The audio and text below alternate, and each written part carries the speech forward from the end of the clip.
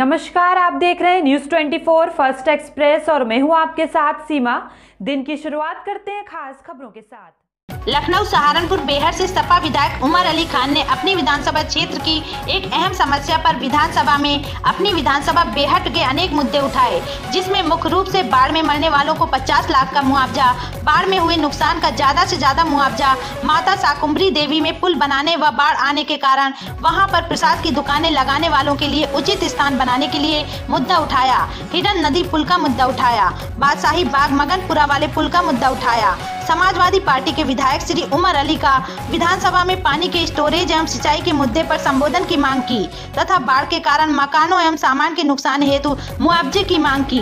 विधायक उमर अली खान विधानसभा में लगातार अपनी विधानसभा की समस्याओं पर सरकार का ध्यान आकृष्ट कर रहे हैं। न्यूज़ 24 फ़र्स्ट एक्सप्रेस से ताबिश फैजान की खास रिपोर्ट। है उतना वहाँ पर पानी की दिक्कत भी है और बदकिस्मती से वो जो हमारा जो खास तौर से भेड़ विधानसभा है, वो डार्क जोन के अंदर आती है। वहाँ सरकार की तरफ़ से कोई नए नलकूप की कोई योजना तक नहीं आ पाती।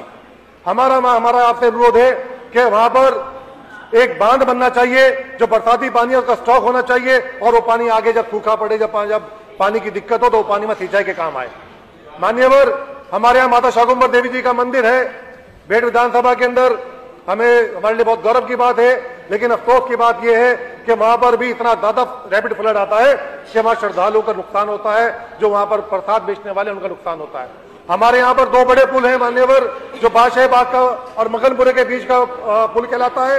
वो पुल भी बाढ़ के अंदर बह गया था और आज आठ, दस साल हो गए। हर साल हम लोग वहाँ सदन के अंदर मेरे अगर आप उठा के देखेंगे, मैं पिछले दो दो वर्षों के अंदर ही मैंने उसकी आवाज़ उठाई और आज तक बदकिस्मती से उस पुल के ऊपर कोई काम नहीं हुआ। ऐसे ही हिंडन नदी का पुल है, सर। वहाँ पर भी जितने श्रद्धालु निकलते हैं, वो पानी के बीच में जान जोखिम में डाल के निकलते हैं। और अभी हाल ही में आपने सुना भी होगा कि स्कूल के बच्चों की बस हिंडन नदी के अंदर फंस गई थी।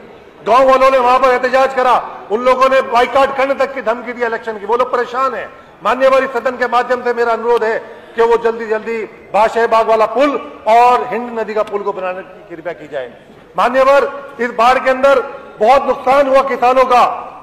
बहुत ज़्यादा हमें फसले भाई। हमारे यहाँ पर आम के बाग हैं।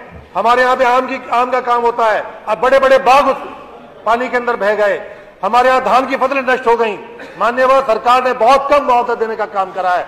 मेरी सदन के माध्यम से अपील है कि ज़्यादा ज़्यादा उनको मुआवजा दिया जाए।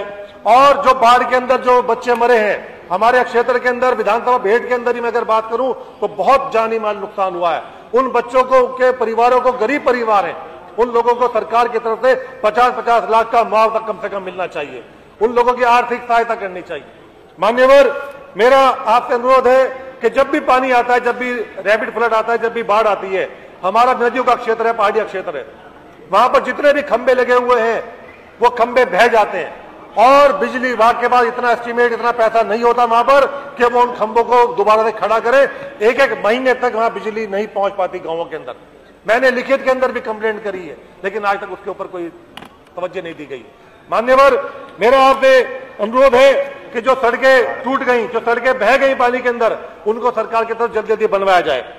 मान्यवर जी समाप्त करें। हमारा हमारा आपसे एक छोटा सा अनुरोध और है कि हम लोगों के यहाँ पर जो, जो हमारा राजा नेशनल कॉर्बेट पार्क का क्षेत्र कहलाता है उस राजा नेशनल कॉर्बेट पार्क के जानवर जब बाढ़ आती है तो सारे के सारे प्लेन के अंदर आ जाते हैं। और चाहे उसके अंदर उसमें जंगली जानवर भी हैं, गुलदार भी हैं, दूसरे पशु भी हैं, उनके लिए भी दिक्कत होती है। सांप आ जाते हैं। हमारा मान्यवर आपसे अनुरोध है कि इस इस बार बहुत ज़्यादा कैजुअलिटी हुई। कि घर में आदमी सो रहा है और सांप ने आगे उसको सोते हुए काट लिया उनकी मृत्यु हो गई।